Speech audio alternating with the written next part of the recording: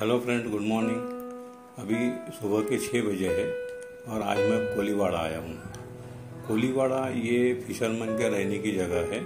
या आप उसको फिशरमैन कॉलोनी भी बोल सकते हो। ये जितने भी कोलीवाड़े हैं, ये सी शोर के पास में ही रहते हैं।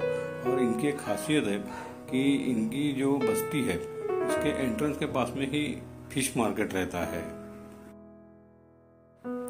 आमतौर पर देखा जाए तो इनकी ज़िंदगी जो है वो काफ़ी टफ रहती है।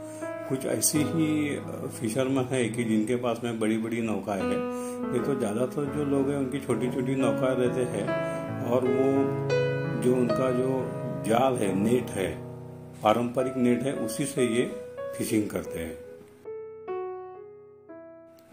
आज मैं आपको कोलीवाड़ा और इसके आसपास की जो जगह है और जो नज़ारा है, वो बताऊँगा।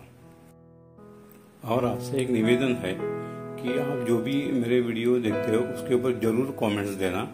चाहे जो भी हो, अच्छे हो, बुरे हो, और चैनल सब्सक्राइब करना।